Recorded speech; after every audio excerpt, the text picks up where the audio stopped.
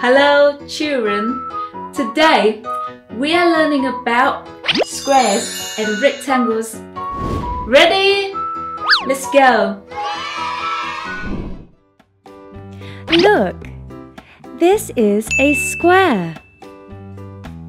It has four straight sides and four corners.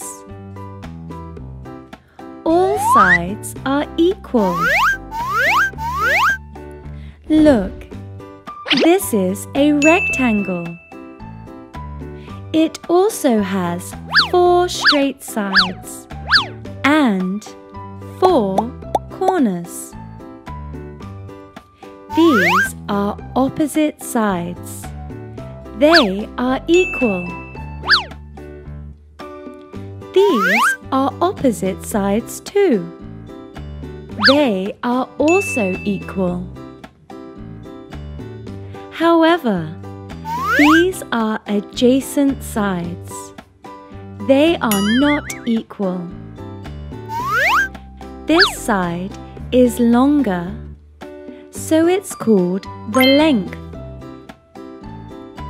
This side is shorter, so it's called the width. Can you see?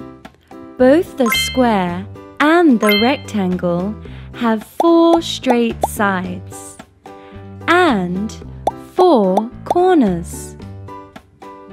However, the square has four equal sides, whereas the rectangle doesn't. The rectangle has the length and the width, where the length is longer than the width. Now, let's get some practice. What shape is it?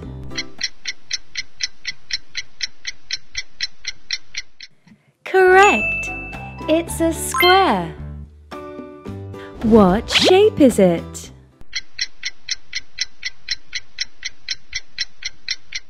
Right, it's a rectangle. What shape is this biscuit?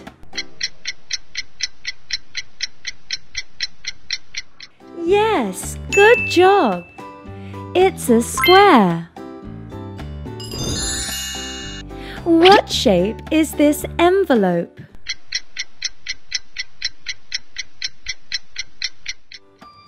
Great! It's a rectangle.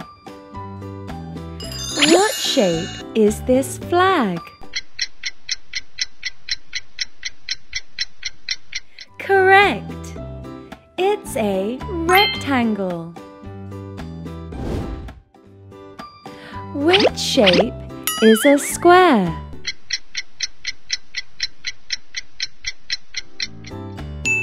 Good job!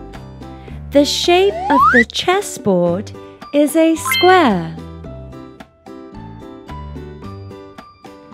Which shape is a rectangle?